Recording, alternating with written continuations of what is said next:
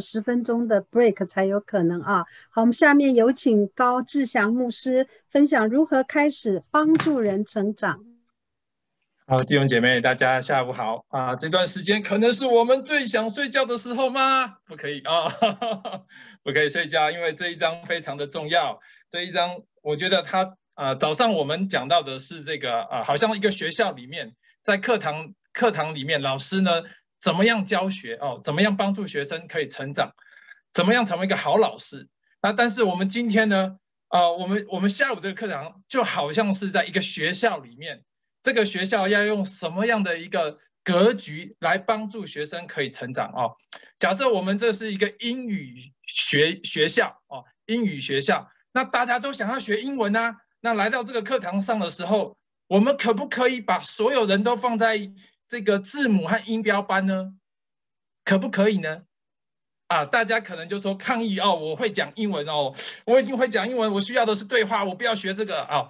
好，那同样的哦，在一个教会里面，如果我们要帮助我们的弟兄姐妹成长，我们必须要有一个识别的能力，就是要知道谁会讲英文，谁的英文程度怎么样哦。那同样的，我们也要了解我们的弟兄姐妹，我们每一个人的属灵的光景，我们的成熟度，每一个人都是不一样的，因为每一个人呃跟随主、经历主的这个程度呃呃过程都不一样。那今天呢，我们看一个图哦，下一个图，我们看见呢，呃，这个帮助人迈向成熟，这个作者他把门徒的生命用五个阶段来表达。那这个不是绝对的，但是它代表了一件事情，就是说我们基督徒我们要成长的时候是有一个方向的，弟兄姐妹是有一个方向的。过去我们还没有信主的时候，我们的状态就是死亡哦，你看到我用紫色的标起来叫不幸。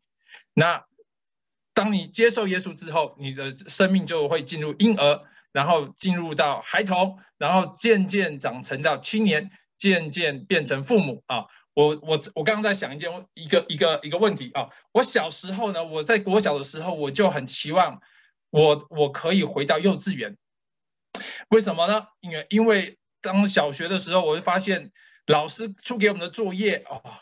呃，这个在假日的时候必须要抄国语国字两遍啊。如果是有单字啊新的单字的话，等于是要写二十四行哇，或十或二十行，很不愿意，很不愿意写作业。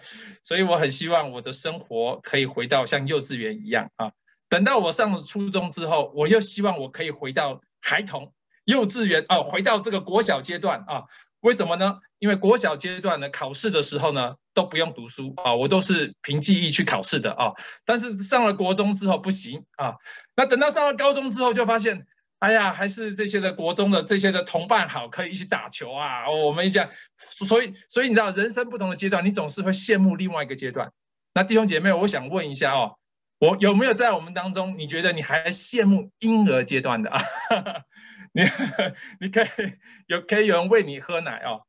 好，那在这个在这个部分呢，呃，还讲到说，我们弟兄姐妹，我们我们如果是成为一个牧者，我们成为一个领导者，我们怎么样帮助我们的弟兄姐妹？哦，该怎么样下手？首先，我们要先去知道，其实在灵命成熟有五个，有这样的一二三四五个阶段。那在每一个阶段呢，都有。三种人有责任哦，三个部分有责任。第一个是我自己的部分，就是成为一个领导者，他有领导的部分，他有领导的责任哦。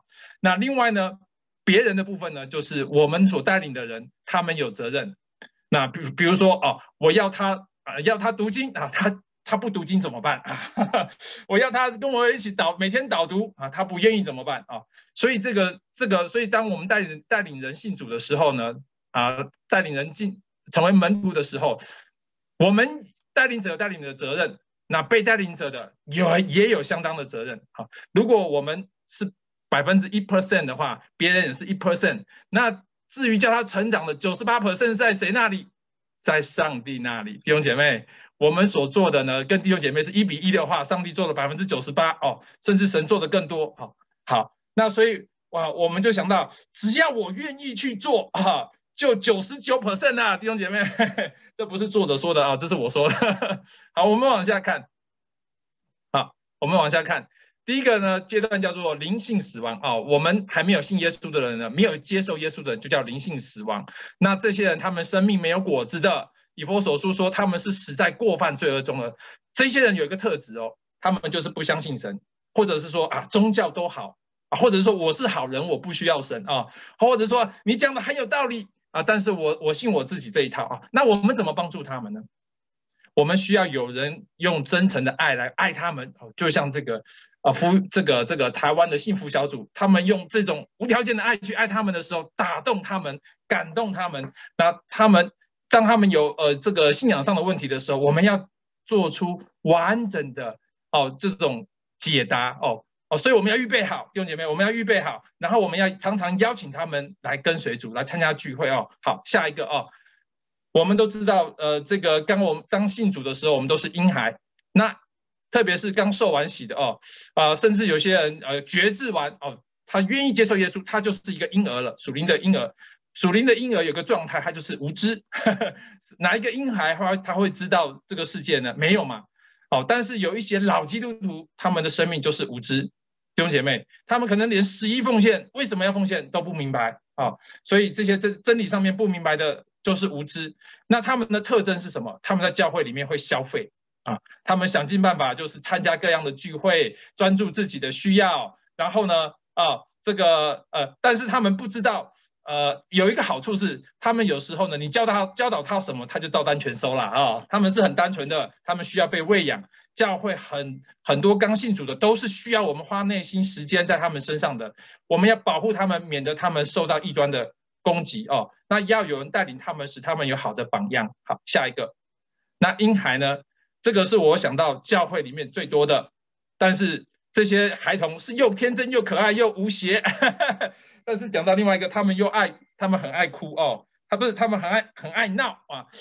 孩童有个特征，就是说，妈，我要这个，妈，我要那个，哦，你不给我，我就生气，哦，有没有？我们会觉得说，教牧师讲到不好，我就想换教会，想换牧师，想换换讲员，啊，这个聚会不好，这小就怪小组长不好哦。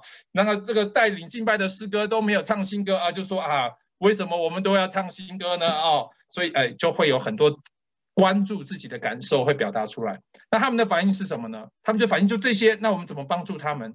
我们要学教他们教导他们学习要做学习做仆人，然后要以神的国为优先，然后要放下自己的感觉。好，下一页啊，在青少年的阶段呢，这些人呢就是。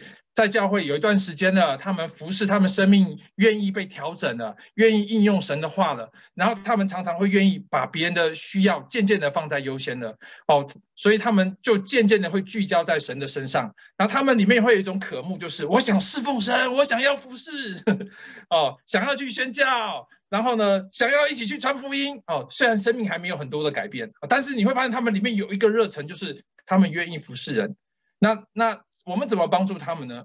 啊，他们需要属灵的老师，就是刚刚 Rebecca 讲的，要有个 mentor。然后呢，他们需要有跟他们讨论，跟他帮助他们设定界限，或者在服饰上面给他们一些经验或提醒。好，下一页。那最后一个就讲到父母，这个父母跟这个青年的他们最大的差别是，父母有一个责任感。啊，弟姐妹，我想问一下，我们里面有没有谁，你心里面就是想到说，我要。我常常想到我我带的这个门徒啊，你会想到他就是你有一个父母的特质哦。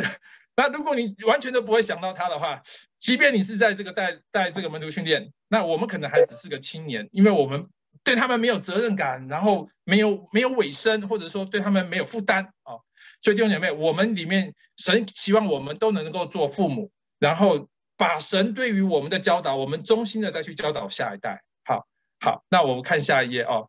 啊，这个是应用。呃，我们在企业团契，我那时候跟 Helen 讲说，Helen，我们可不可以把我们现在团契里面的人分 A、B、C、D 呢？啊，即便我知道他已经他不是 A，哦，或者说他只是他会关怀，那或者说我们做完门训，我就把他视为先视为 A 了哦，用一个期待的角度，期待他可以成为属灵的父母。就刚刚那个早早上这个啊廖长老讲的，我们要对学生有期待，我们对我们的呃弟兄姐妹要有期待。